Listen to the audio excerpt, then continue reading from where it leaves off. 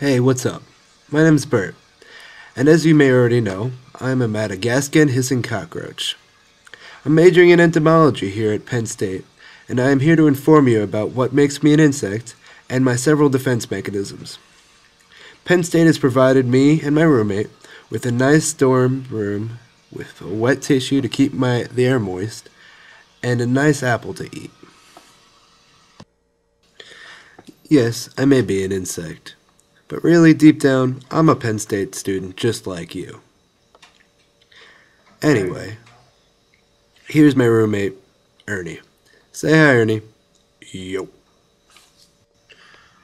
We like to fight a lot, but what can I say? It comes natural to us. Anyway, back to the real reason why I'm here to tell you about me as an insect.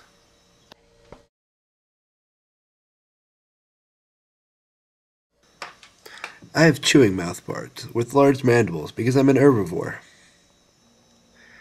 And as you can see, I have six legs, as all insects do, that are attached to my abdomen.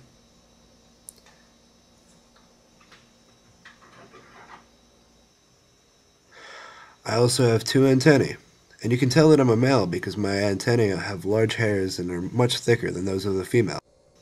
As you can see, I also have these black dots on my back, which are spiracles and they're how I breathe. And you can also see these two horns on my head, which also prove that I'm a male. These little insects that you see on me are actually mites called Grumphiflora laps schifari. Uh, they don't bother me, they just ride on me and they eat the food that I eat.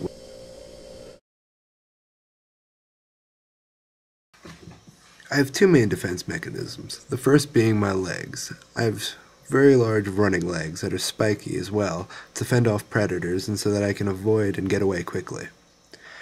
The other of my defense mechanisms is my hissing sounds that I make by using my spiracles on my back.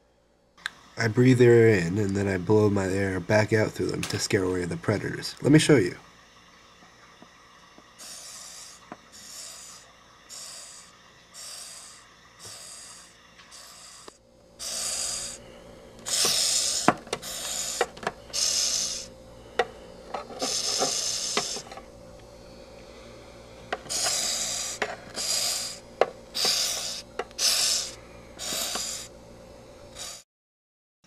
Well, that's it from me, guys. Hope you had fun.